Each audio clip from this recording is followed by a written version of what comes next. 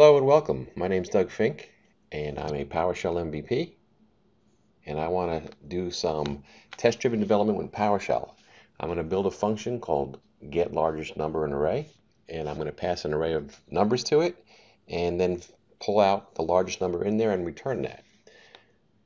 So the way I like to get started when I'm kind of testing out a new function to see if it makes sense or see how far I want to take it, I'll build my test right in next to my code, right next to my function. I'll do some iterations with it. In fact, if I think that the function has some legs to it and it starts to take shape, I'll then pull out the test and put it in its own file and I'll name it whatever dot .tests.ps1. I'll pull out the function and I'll put that in a PS1 file or in a module once I'm happy with everything. Otherwise, I kind of just use this as a scratch area. So what I do initially is in the same file that I would be creating my function, I'll create a describe. I'll use some uh, pester blocks, uh, and we'll set up a describe, and we'll grab this right here, and inside I'll create my first it, and I usually do a sanity check at this point, and that sanity check looks like this uh, should be true. And I'll just do a simple dollar true should be dollar true. And I'll run this and I can see that Pester is installed. It's giving me some the correct results. I can double check my sanity. That's what I expect. And this way I know at least I have some of the basics set up, but I'm not uh, fumbling through figuring out why is it my why are my tests beginning to run. So one of the ideas is you do you start a test and you do what they call red-green testing. You write a test that you know is going to fail and it's a simple test and then you write the code that'll make it turn green and pass. So I know I'm going to be passing an array to my function and I know that the first time the array I'm going to send I want to get the result 3 back. So we'll just say should be 3 and then I'll create a variable called actual. And we'll name the function is get largest number. And let's pass in 2 comma 3 comma 1 now when I run this I get exactly the failure I want. The term get largest number is not recognized. And I can get this to turn green by creating a function now like this and run it and now I'm green. Now one of the reasons why you do these red-green tests is you begin to build the smallest amount of code both in your test and in your function and you get the sense of uh, achieving success with the test that you're writing. So the next piece that I want to do is I want to compare and say that the actual should be 3.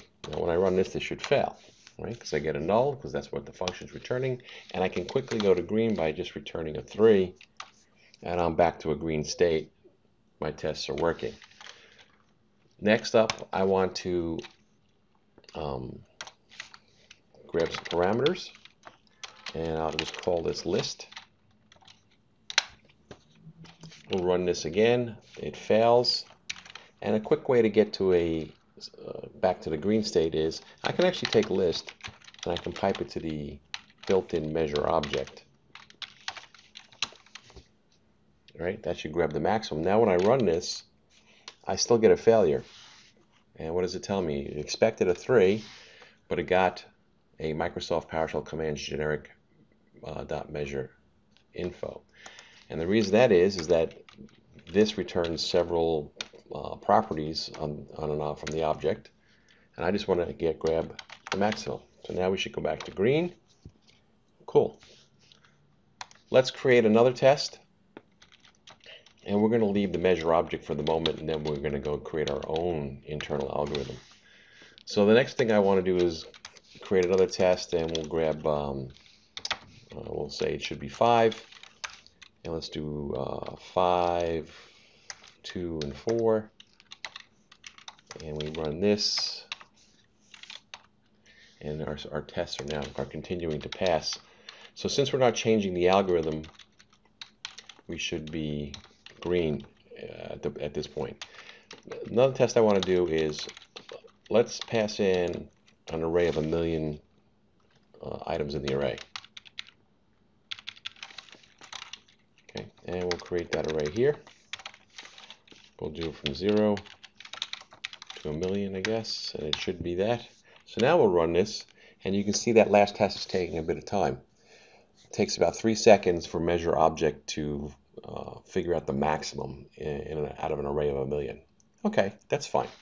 So what I'm going to do here is I'm going to comment out this last one because I don't want to spend three seconds every time I run my tests to see if things pass.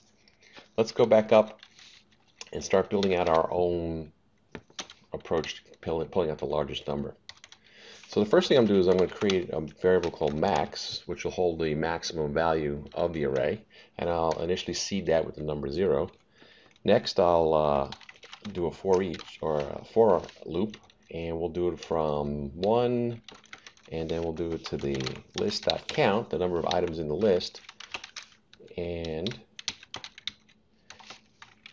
we will compare the current item. So we'll take the list. The current item is dollar $list subscript i. Let's compare it. If that's greater than the max,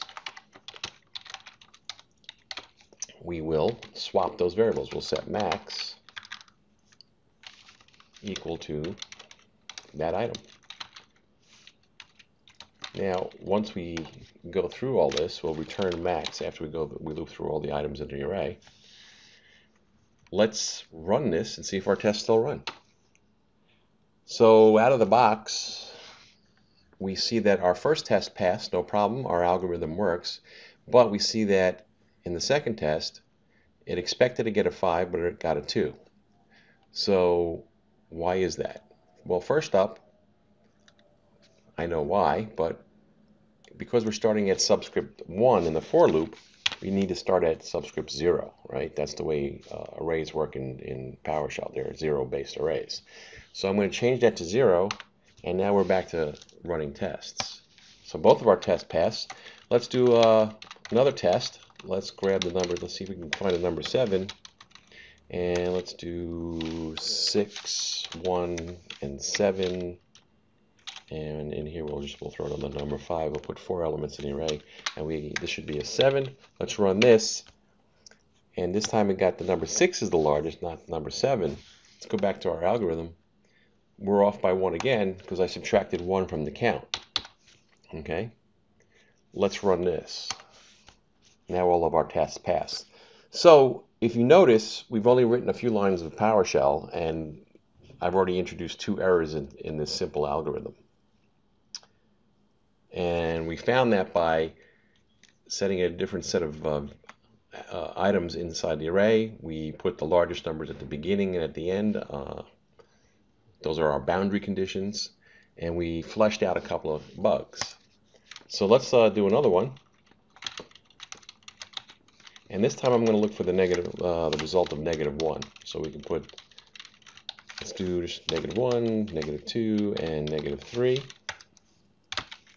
Let's run our run it, and we get another error. And this time we're saying string lengths are different. One, both lengths are two, but the string differs at index one. Hmm, well, why is it comparing strings? Interesting. Well, that's PowerShell. It's it's dynamic. It figures out things based on objects, and it takes a minus sign as a string. So let's cast our list as an array of integers. Let's see what if that helps. Okay, that looks a little better. It expected a negative 1, but it got a 0. So we're not comparing strings, we're comparing numbers, but we still have yet another error. And the reason it gets 0, even though it's not in our array of numbers that we pass in, it's because my max value is set at 0. So the comparison of max to the current item in the list is never going to do the right thing because 0 is always greater than negative numbers. So let's pick a different seed value. And let's pick a min val. Let's run that. And all of our tests now succeed.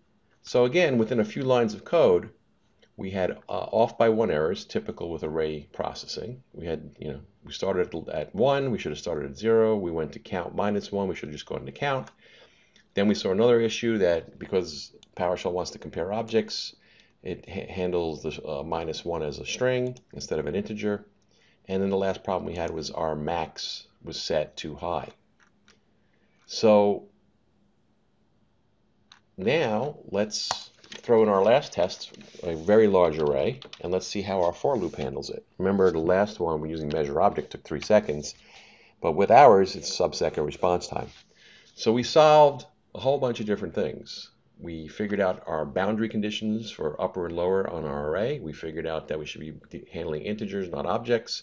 And we actually, actually uh, introduced a performance improvement. So that's what I wanted to demo. I hope you found it interesting. Again, my name is Doug Finke. You can find me on Twitter at DFINKE. You can also find my GitHub repos there. And if you hop over to the PowerShell gallery, you can find a bunch of different kinds of uh, PowerShell modules that I've made open source. You can check those out as well. So thanks for joining.